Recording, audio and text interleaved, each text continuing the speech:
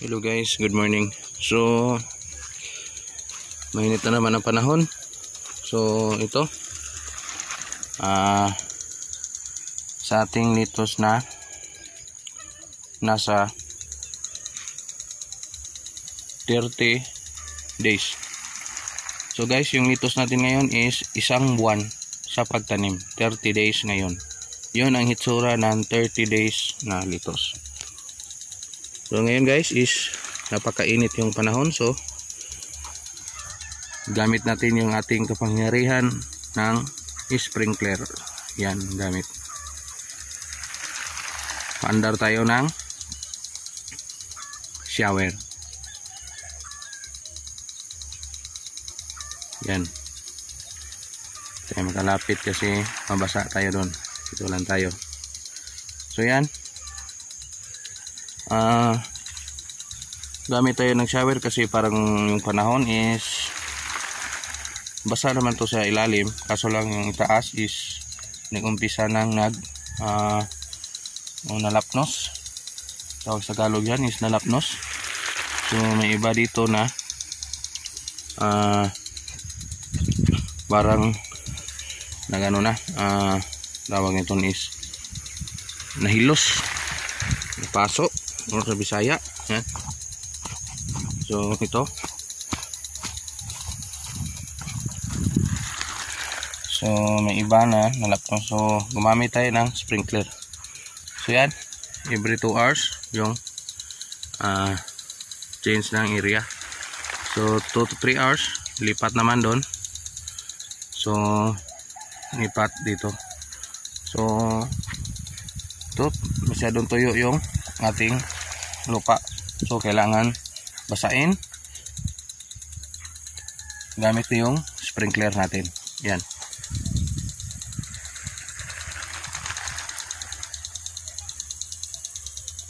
So sa nag gaw.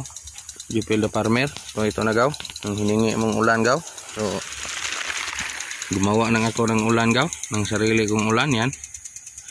So nag shower na lang ako kasi parang parang hindi tayo bigyan ng ulan nito. May ulan man is matagal pa. Yung mga ulat na mga forecast eh, yung mga ibang farmers advice ko sa inyo uh, hindi 100% maniwala kasi tawag dyan is forecast. From the word is forecast.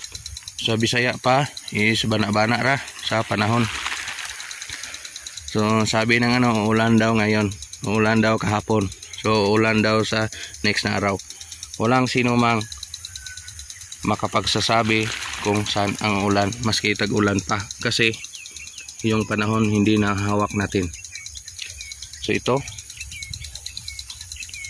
nag shower na yun so may dalawa sana akong gagamitin yun.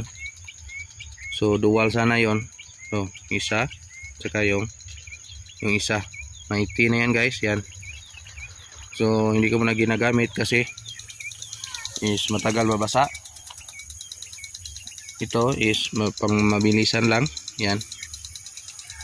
So yung mabilisan is every 2 to 3 hours is pwede nang i-move dito sa next na area.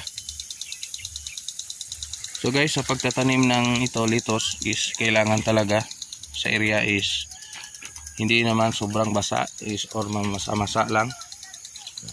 Kailangan natin is ganito lang yung basa. Hindi gaano hindi sobra hindi hindi naman tuyo.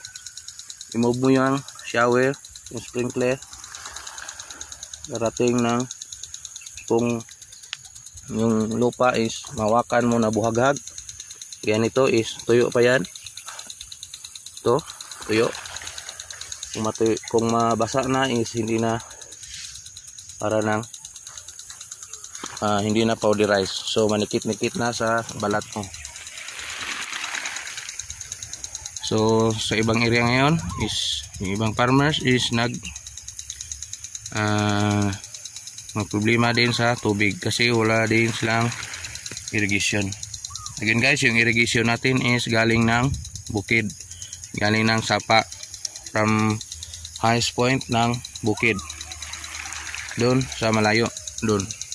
Dyan dyan galing so nag-invest tayo ng maraming host. Invest tayo ng uh, malalaki. Mga doon is ganito. Yung huli is gamit ko dito is 3 port na lang yung resulta pero sa taas nito guys is 1 and a half inch yung humihigop doon sa sapa. So guys ito gamit ko is single sprinkler lang. Hindi ko ginamit yung T kasi matagal mabasa. Gamit ko to mabilis lang oh. yan. 10 minutes yan. Hindi na. Much more kaya kung i-times natin yan sa dalawang oras? So basa na yan. Ito tuyo tuyo na. Ito tuyo. So kailangan nating ilagay dito pagka next. Yung ito guys. Sa tanim. Monitoring talaga araw-araw. So araw-araw. Tingnan nyo yung reaksyon ng tanim nyo kung anong nangyari kung nalapnos ba or especially ngayong araw ngayong tag-init is delikado yung overheat sa init. Hindi lang yung sasakyan ng overheat guys. Sa tanim din yan. Para din yung tao. Lahat ng sobra is hindi hindi is nakakasama. Nakakasama talaga yung sobra. Yung ano lang kunting lamig at saka kunting init din. Kasi kung puro init sasabog yan. Kung puro naman lamig is ma-overcold yan so ito guys yung ating pakita ko sa inyo is simpleng video or idea lang kung gagaya kayo.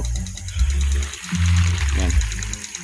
So guys napakasimple lang gumawa ng sprinkler. Kasi binibili lang ito.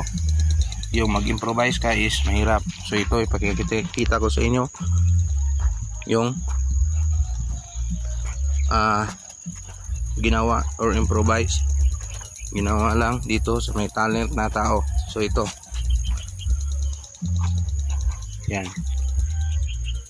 Binili lang ito yan at saka gumawa lang ng ito coupling konti lang yung butas nito guys. Yan.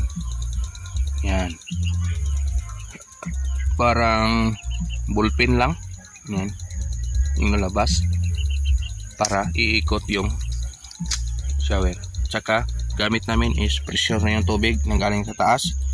So paglabas niya is naka water pressure na is automatic iikot na. So again guys hindi natin ginamit itong stay na ito kasi matagal mabasa kasi dalawa sila naghahatian sa 3 port na tubig.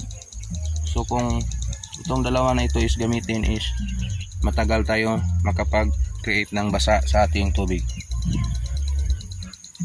so guys yan lang muna ang aking mapakita sa aking 30 days na tanim na litos. So guys kung gusto nyong mag uh, invest is gaya nito is hindi naman ito uh, binibili ko agad ng na lumalapit din ako sa mga kakilala yung pwedeng utangan. Again sa pagtatanim talaga is unang investment mo is lupa next yung patubig.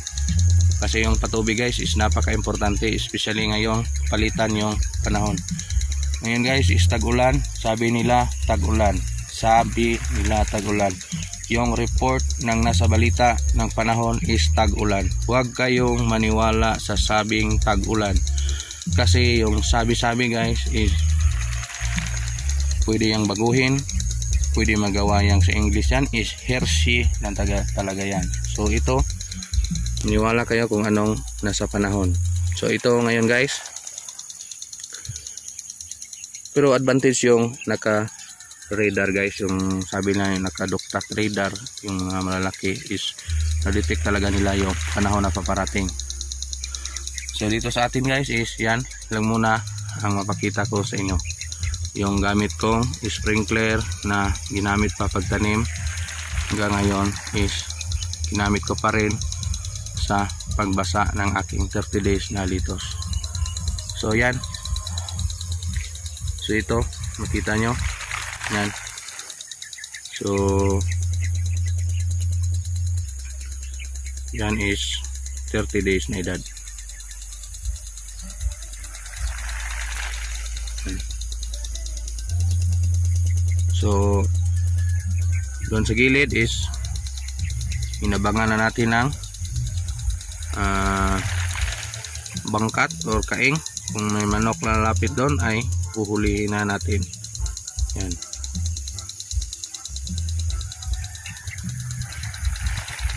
So salamat sa panonood guys. Sana na enjoy kayo sa aking konting video